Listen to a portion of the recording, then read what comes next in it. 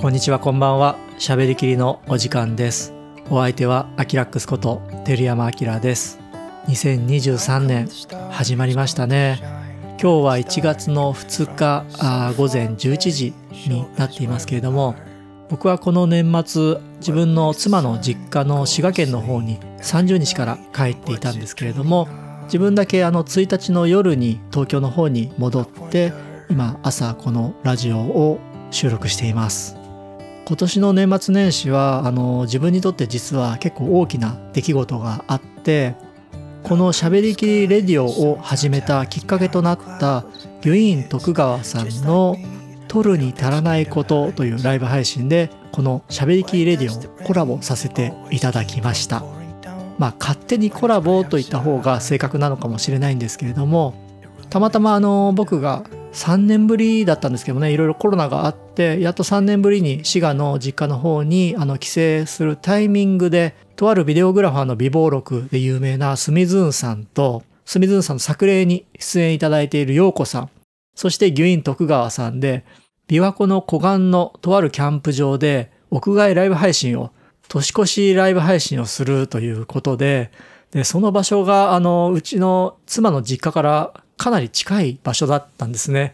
であれば、あの、ぜひご挨拶にという形でお伺いしたんですけれども、まあ、あの、取るに足らないことを見ていただいた方はもうね、周知だと思うんですけれども、とてもあの、楽しかった、そしてとても混沌とした、え屋外ライブ配信でした。概要欄に入れておきますので、もしあのまだ見てない方はちらっとでもあ覗いていただければと思います。その前にあのスミズンさんの方でもライブ配信をされていたんですけどもそれはちょっと僕はあの参加できなかったんですがその後のギュインさんの取るに足らないことのカウントダウンの方でちらっとちらっとというかまあ結構あのがっつり参加させていただいてとてもあの感慨深い年末年始を過ごさせていただきました皆さんはどんなあの年末年始を過ごされてますかね？まあそんな僕のオープニングトークというかね、あの最初の話は、まあまあまあそんな感じで、あの、じゃあ、いざ現地に向かおうっていう時に、車の中から収録していた音源がありますので、まずはそちらをどうぞ。2022年12月31日、今現在22時53分です。今車で琵琶湖の方に走っているんですけれども、スミズンさんと、えー、ギュインさんが琵琶湖の湖岸でキャンプしてるということなのでちょっととつってみたいなと思います。多分23時から撮るに足らないことをそこからライブ配信しようというお話をしていたので、えー、それをとつりながらこのしゃべりきりレイディオ用の録音も、えー、していきたいなと思っています。さっきあのスミズンさんのライブもやっててちらっと拝見したんですがかなり過酷そうでしたね。一緒にあの出演されていた陽子さん大丈夫かなと思って。で陽子さん多分あの、うん、カウントダウン終わったらホテルに行くということだったので僕があの車の方で、えー、送らせていただこうかなと思ってますのでスミズンさんにはゆっくりキャンプ場で飲んでいただいて年を過ごしていただければなと思っております。この道をまっすぐ行くとなんか島に行っちゃうんだよな。TM レボリューションの西川さんがあの毎年やっている稲妻ロックフェスをやる開催地区になっているこの島にねこれまっすぐ行くと行っちゃうんでここ今右曲がります、はい、そうすると今左がずっとですね、えー、琵琶湖なんですけれどもこれがいわゆる湖岸道路と言われるやつですね。ああ綺麗ですね。左側はこう大津の夜景がですね湖にこうパーって落ちてて水面がゆらゆらしてかなり綺麗ですけれどもこれあの、まあ、声じゃねなかなか伝わらないんですが今日はめちゃめちゃ晴れてますね、まあ、夜だから真っ暗なんですけれども本来であれば昼間だったらば湖北の方まで、まあ、これぐらい晴れていると綺麗に見渡せて琵琶湖バレーとかあと牧野の方のね向こうの湖北の方まで雪化粧で綺麗に山が見えるところなんですけれども夜なんで何にも見えないですけどね。でちょうど左側は比叡山ですね。比叡山の方はあのちらほらと山の上の方に光が見えている感じです。有名なあの延暦寺があるところですよね。でこの湖岸道路をあの近江八幡とか米原方面いわゆる北の方面にずっと走っていくと左側に琵琶湖大橋という大きな橋が見えてくるんですけれどもその先が一気にこう琵琶湖がガーッて広がって大きくなっていくとこなんですよね。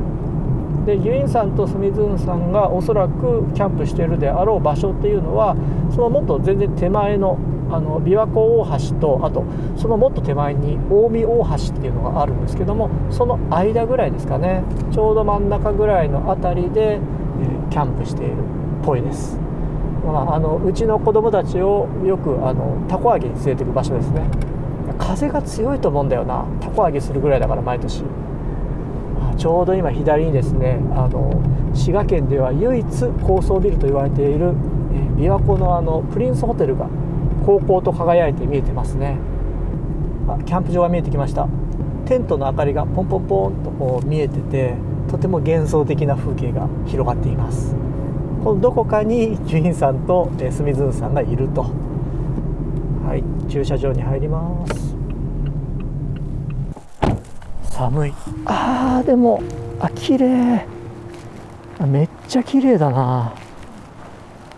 湖のあのこう向こうの街の光がですねもうチカチカチカチカって点滅してて。で湖があの月明かりにこうパーって照らされてそれであのこうテントの明かりがポンポンポンポンとまばらについてる感じですね。だけれども多分ギュインさんのワンポールテントが分かりやすい。ああれかな。多分あそこだな。あめっちゃ風吹いてますね。めっちゃ風吹いてるな。来ました来ました。えー、こんばんはアキラックスですあのしゃべりきりレイディオ撮ってますようこさん、はい、こんばんはこんばんははじめましてそうですよね。二回目の初めまして。実はさっき会ってますよね。そうですよね。でも今日今日が初めましてで。こんばんはでございます。今年もあと残り何分？一時間弱。一時間弱。一時間弱。カメラ？それ？え、いや、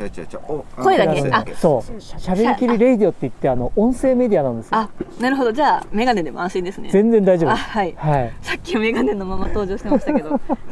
今からみんなでゆいさんのところにお邪魔していいのか。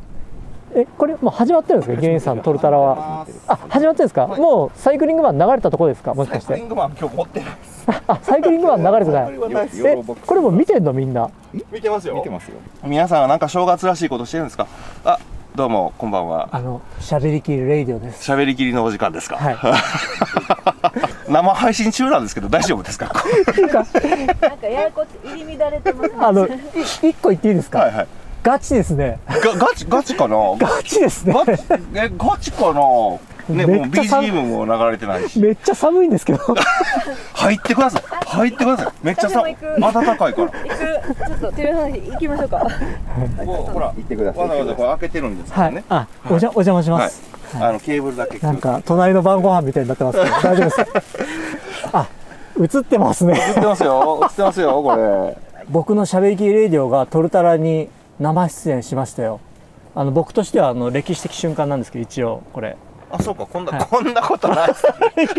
この時間やからおかしいですよ、ね、このわけわからない配信でうん、あのまあ、歴史的瞬間を僕も迎えたということで、うんうん、2022年は本当に良い年だったなと、はい、じゃあちょっとあのしゃべりきレディをここら辺で締めさせてもらうのであさっきじゃあそれしよう。ね、うん、はいということであの皆さんえっ、ー、と新年明けましておめでとうございます。え、えー、そうかこれ来年そうそうですこれ来年 来年なんですよ。来年、うん、はい。あのどうですか？2023年。住津さんどうですか？いやあの飛躍の年にしたいですよね。もうえあうん あの楽しい年がいいですよね。あそうですよね。はい。はい、ぜひとも楽しい年にしましょう。はい、はい、ありがとうございます。じゃあ最後ギュインさん。はい。今年は今年こそはユーチューバーでありたいと思います。確かに、僕はユーチューバーなんでもともとね、はい、あのユーチューバーらしくいきたいなと。ちゃんとあの100本以上は動画出せるぐらいのユーチューバーでありたいなと思います。ありがありがとうございます。多分ねあの去年も同じようなこと言ってたような気がする。けども。いや今年2022年はね本とダメダメすぎて、もう、あの、年末今日まで全然動画結局上げらなかったですからね。まあ現在他で結構忙しいですから今ね。それはね、あの、ありがたいっちゃありがたいんですけど、YouTuber である自分を忘れたくないので。はい。わかりました。すいません。なんかこの場で借りてしまって。いえいえいえ。あのということで。はい、じゃああの皆さんえっ、と2023年も楽しんでいきましょうそれではさよならなんかテンション低く。そんな、こう、なんかこんな終わり方じゃないですか。もうちょっとこうならないですか。そうですねいやなんか寒くて ということで2023年も皆様よろしくお願いしますよろしくお願いします。よろしくお願いします。それでは、えー、と琵琶湖のめちゃめちゃ寒い現場からでしたさよならさよなら こんな感じやけど。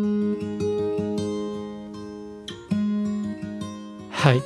ということで、えーいや寒かったですね。なんかあの改めてこう4人とワイワイガヤガヤしんみりいろんな今年あったことを語り合うというよりかはなんかこうお話しするたびにですねどこかで何かしらハプニングが起きて例えばストーブの火が消えたとかなんかもう誰かが何かをこうトラブルを対処しているとかね。はたまた牛員さんがあのトイレ行きたいお花摘み行きたいとかね言い出したりとか、まあなかなかあのゆっくりいろんなことをじっくり皆さんのコメントを読みながらって配信ではなくて割とこう混沌としたカウントダウン配信だったなっていうね蓋を開けてみたらそんな感じだったかななんていう印象はあったんですけれども改めて思うと僕個人としてはかなり歴史的瞬間な、えーライブ配信でした。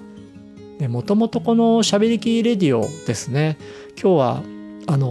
今年の抱負とかあの一切語るつもりはなくてですねあのしゃべりきレディオっていう今あの皆さんがあの聞いていただいているこのメディアですねラジオメディアというのに注目したのがですね、えー今から3年前一番最初第1回更新したものが2019年の6月の16日なんですよね。まあ約3年前ですかね。コロナが始まる少し手前だったと記憶していますが第1回目の題名が「ログとろうそくのお話」というログってどういったものログの対数ってどういうものみたいなことを、まあ、あのコンパクトに8分以内にまとめて話していてなんか今改めて聞いたらなんかこの頃のしゃべりきりレディオ良かったなって思ってねちょっと聞いてみましょうか。第1回目のログとろうそく一部抜粋をどうぞ。今日から始まりましたしゃべりきり。お相手はしがない機材オタクのアキラックスこと照山明と申します。もともとこの番組を始めようと思ったきっかけは普段自分はあのギュイン徳川さんとかイルコさんとかあ皆さん知ってるドリキンさんとか結構あの夜寝ながらですね寝る前に聞くことが多くてで機材ネタとか割とこうコアなネタを打ってくれるので、えーとても参考にしながら毎回、えー聞きながら眠りに落ちるんですけれどもまああの割と不定期だったりするのとこんな雰囲気なんですよね。で一番最初僕がこのラジオメディアをやりたいなと思ったきっかけなんですけれども僕がいつもあの記事を執筆させていただいていたプロニュースさんの方でやられていたプロニュースレディオっていうのがあるんですよ。あのこの喋りきりレディオを喋りきりラジオとか喋りきりラジオとかっていうふうにあのおっしゃっていただいている方いるんですけども正確にはですね喋りきりレディオです。というふうに発音していただけると嬉しいんですが、これはもともとプロニュースレディオからあの丸パクリさせていただいているという、はい、そんなこんななんですけれども、第1回目のお話の中にも、まあ、ギュイン徳川さんや、みたいなね、お話されてましたよね。あの、ギュインさんの取るに足らないこと、かなり、あの、古くからライブ配信されていて、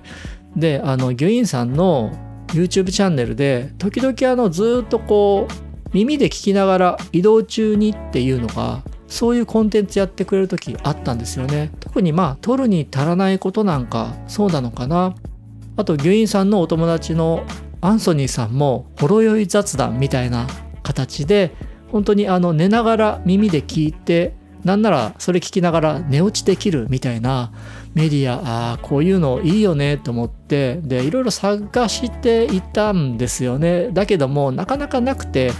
ならばまあ自分でやろうというのがまあもともとのコンセプトだったんですよつまりはこうゆったりとゆっくり寝ながらなんならもう寝てしまえみたいなメディアを目指していたのが最近のしゃべりきレディを聞いてると結構うるさいなって僕の声が。うん、興奮してきたりとかあとまああのレビュー動画に近いような気になる製品話してたりするのでどうしてもこう気持ちが乗ってくると声が大きくなってしまったりとか